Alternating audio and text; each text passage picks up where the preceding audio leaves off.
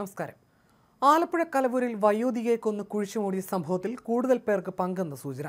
Reynold എന്ന വ്യക്തിക്ക് ഇതിൽ പങ്കുണ്ടെന്നാണ് പോലീസിന്റെ സംശയം.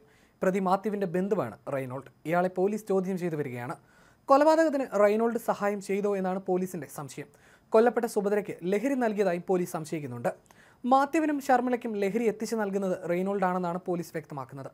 ആലപ്പുഴ കലവൂരിൽ വയോധികയായ സുഭദ്രയെ കൊന്നു കുഴിച്ചുമൂടിയത് അതിക്രൂര മർദ്ദനത്തിന് ശേഷമാണെന്നാണ് പോലീസ് പറയുന്നത്. എഴുപത്തിമൂന്നുകാരി സുഭദ്രയുടെ നെഞ്ചിൽ ചവിട്ടിയെന്നും കഴുത്ത് ഞെരിച്ചെന്നും പ്രതികളായ മാത്യുവും ശർമ്മിളയും ചോദ്യം ചെയ്യലിൽ വെളിപ്പെടുത്തി. ഇന്നലെ കർണാടക മണിപ്പാലിൽ നിന്ന് പിടിയിലായ പ്രതികളെ ഇന്ന് രാവിലെയാണ് മണ്ണഞ്ചേരി പോലീസ് സ്റ്റേഷനിൽ എത്തിച്ചത്. വിശദമായ ചോദ്യം ചെയ്യലിൽ സാമ്പത്തിക നേട്ടത്തിനായിട്ടാണ് സുഭദ്രയെ കൊന്നതെന്ന് പ്രതികൾ വെളിപ്പെടുത്തി. മാത്യുവും ശർമ്മിളയും ചേർന്ന് സുഭദ്രയെ അതിക്രൂരമായി മർദ്ദിച്ചു. മേസ്തിരിയെ വിളിച്ചു വരുത്തി വീടിന് പുറകുവശത്ത് കുഴിയെടുത്ത ശേഷം ഏഴാം തീയതി വൈകുന്നേരം തന്നെയാണ് കൊലപാതകം നടന്നതെന്നും പ്രതികൾ പോലീസിന് മൊഴി നൽകി. അറസ്റ്റ് രേഖപ്പെടുത്തിയ പ്രതികളെ ഇന്ന് കോടതിയിൽ ഹാജരാക്കും. മാത്യുവിന്റെ സുഹൃത്തായ ഒരാൾ കൂടി പോലീസ് കസ്റ്റഡിയിലുണ്ട്. കസ്റ്റഡിയിൽ വാങ്ങിയ ശേഷമാകും കൂടുതൽ തെളിവെടുപ്പിലേക്ക് നീങ്ങുക. ക്രൂരമായ മർദ്ദനത്തിന് ശേഷമാണ് സുഭദ്രയെ കൊന്നതെന്നായിരുന്നു പോലീസ് ചോദ്യം ചെയ്യലിൽ പ്രതികൾ വ്യക്തമാക്കിയത്.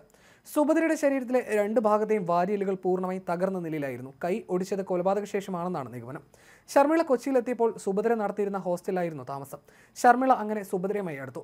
ബന്ധമടുത്തപ്പോൾ സുഭദ്രയുടെ വീട്ടിലും താമസിച്ചു. ഇടയ്ക്കിടെ സുഭദ്രയെ ശർമ്മിള ആലപ്പുഴയിലെ വീട്ടിലേക്കും കൊണ്ടുപോകാറുണ്ടായിരുന്നു. ഇവിടെ വെച്ചാണ് ശർമ്മിളയുടെ പങ്കാളി മാത്യൂസിനെ സുഭദ്ര പരിചയപ്പെടുന്നത്. ഒറ്റയ്ക്ക് താമസിച്ചിരുന്ന സുഭദ്രയുടെ പക്കൽ നിന്ന് സ്വർണാഭരണങ്ങളും പണവും സ്വന്തമാക്കാനുള്ള ലക്ഷ്യത്തോടെയായിരുന്നു കൊലപാതകം. കടം കൊടുത്ത തുക തിരികെ ചോദിച്ചതും വൈരാഗ്യമായി. സുഭദ്രവാദ കേസ് പ്രതികൾ അന്വേഷണം നടക്കുന്നതിനിടെ പോലീസ് അറിയാതെ തിരിച്ച് കൊച്ചിയിലും എത്തിയിരുന്നു. എറണാകുളം സൗത്ത് റെയിൽവേ സ്റ്റേഷന് സമീപം കരുത്തല റോഡ് ശിവകൃപയിൽ സുഭദ്രയെ കൊലപ്പെടുത്തിയ ശേഷം കർണാടകയിലേക്ക് കടന്ന മാത്യൂസും ശർമിളയുമാണ് പോലീസിന്റെ കണ്ണു വെട്ടിച്ചെത്തിയത്. കൊച്ചിയിൽ ഒളിവിൽ താമസിച്ച പ്രതികൾ വീണ്ടും കർണാടകയിലേക്ക് പോയപ്പോൾ മണിപ്പാലിന് സമീപം പോലീസ് പിടിയിലാകുകയായിരുന്നു. അന്വേഷണം നടക്കുന്നതിനിടെ ഇരുവരും കേരളത്തിൽ തിരിച്ചെത്തിയത് പോലീസിനെ ഞെട്ടിച്ചു. കൊച്ചിയിൽ ശർമിള മുൻപ് താമസിച്ചിരുന്ന സ്ഥലത്തെ ചില പരിചയക്കാരാണ് ദമ്പതികൾ മണിപ്പാലിലേക്ക് ട്രെയിനിൽ പോയെന്ന വിവരം കൈമാറിയത്. ഇരുവരെയും പോലീസ് ആലപ്പുഴയിലും എത്തിച്ചു. ആരും തിരിച്ചറിയാതിരിക്കാൻ കണ്ണട വെച്ചായിരുന്നു പ്രതികളുടെ യാത്ര. മാത്യൂസിനെയും ശർമിളയും ചോദ്യം ചെയ്ത ശേഷം കസ്റ്റഡിയിലുള്ള മാത്യൂസിന്റെ സുഹൃത്തിന്റെ മൊഴിയും രേഖപ്പെടുത്തും. സുഭദ്രയെ കാണാതായെന്ന പരാതിയിൽ കടവന്ത്ര പോലീസ് കഴിഞ്ഞ മാസം ഏഴിനാണ് കേസെടുത്ത് അന്വേഷണം ആരംഭിച്ചത്. ശർമ്മിളയ്ക്കൊപ്പം ഇവർ റെയിൽവേ സ്റ്റേഷന് മുന്നിലൂടെ നടന്നു പോകുന്ന സി സി ടി വി ദൃശ്യങ്ങൾ പോലീസിന് ലഭിച്ചതോടെ ശർമ്മിളയും ഭർത്താവും താമസിക്കുന്ന കലവൂർ കോർത്തശ്ശേരിയിലെ വീട്ടിൽ പോലീസ് എത്തി വീട് പൂട്ടിയിട്ടിരിക്കുകയായിരുന്നു. സുഭദ്രയുടെ മൃതദേഹം വീട്ടുവളപ്പിൽ നിന്ന് കണ്ടെത്തി. ഇതോടെ പ്രതികളെക്കുറിച്ചുള്ള സൂചന ലഭിക്കുകയായിരുന്നു.